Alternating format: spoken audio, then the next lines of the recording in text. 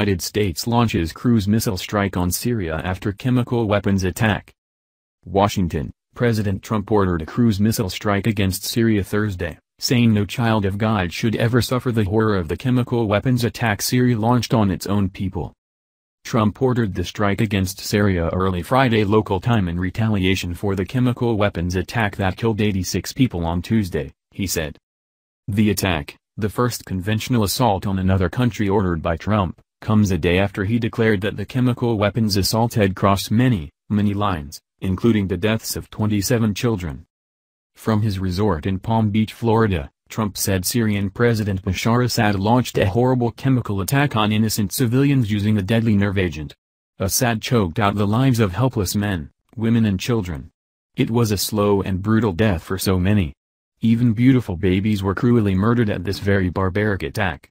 No child of God should ever suffer such horror. Tonight I ordered a targeted military strike on the airfield in Syria from where the chemical attack was launched. It is in this vital national security interest of the untied states to prevent and deter the spread and use of deadly chemical weapons, Trump said. Years of previous attempts to change Assad's behavior had failed, Trump said. The 59 missiles, fired from the destroyers USS Porter and Ross in the eastern Mediterranean Sea, struck the airfield where the Syria based the warplanes used in the chemical attack, according to Navy Captain Jeff Davis, a Pentagon spokesman. The missiles destroyed aircraft, hardened hangars, ammunition supply bunkers, air defense systems and radar at the Shayrat airfield.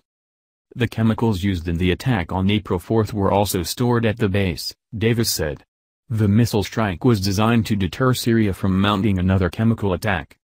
Obviously, the regime will retain a certain capacity to commit mass murder beyond this particular airfield. National Security Advisor H.R. McMaster told reporters in Palm Beach Thursday night. I think what it does communicate is a big shift, a big shift in Assad's calculus. It should, anyway. The attack essentially follows the plan that the Pentagon had set in September 2013, according to a senior defense official not authorized to speak publicly about the operation. That plan was devised after President Obama had set a red line on the use of chemical weapons. Assad had used the weapons that killed 1,400 civilians, but Obama did not order an attack. Instead, Assad agreed to turn over his stockpiles of chemical weapons, a pledge he obviously reneged on in light of Tuesday's use of what experts believe was sarin gas on civilians. In 2013, military planners had planned to use land attack cruise missiles launched from Navy destroyers cruising offshore from Syria. For weeks, the Navy had four destroyers floating offshore, waiting for the order to strike that never came. Using ships negates the need to seek permission from countries where U.S. warplanes are based.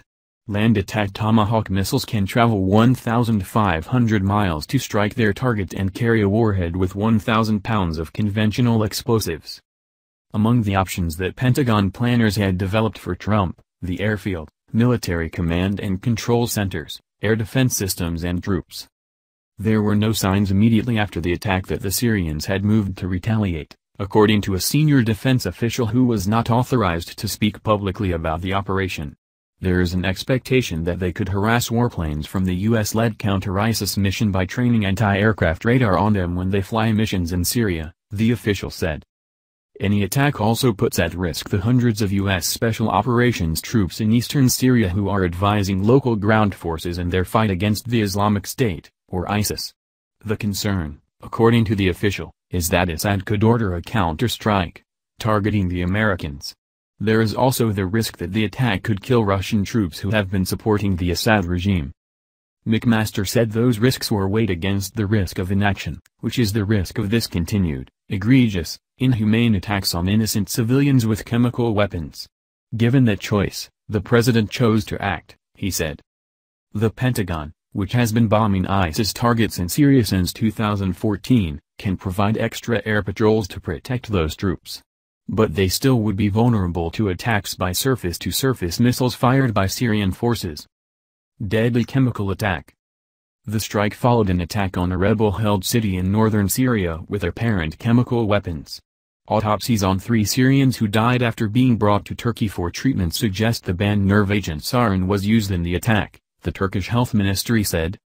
Turkey, which also is involved in the fighting, has long pushed for Assad's ouster.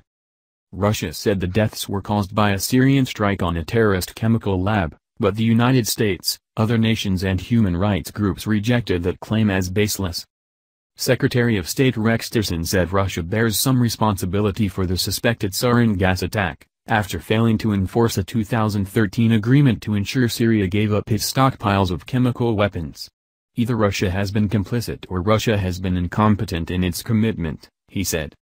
Officials said high-ranking Russian officials in Moscow wasn't consulted or notified before, during or immediately after the attack.